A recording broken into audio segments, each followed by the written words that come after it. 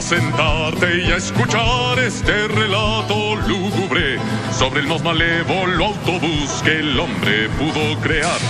Llamado Cementerio 8. Llamado Cementerio 8.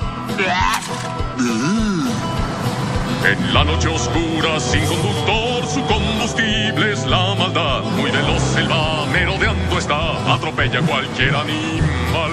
Huye de este autobús. El llamado Cementerio 8. ¡Cuidado! ¡Oh! Escucha y teme y cuida a los niños del tenebroso autobús del mal. Arrolló a dos de mis tíos y seis de mis primos. Todos eran del norte. En serio. El cementerio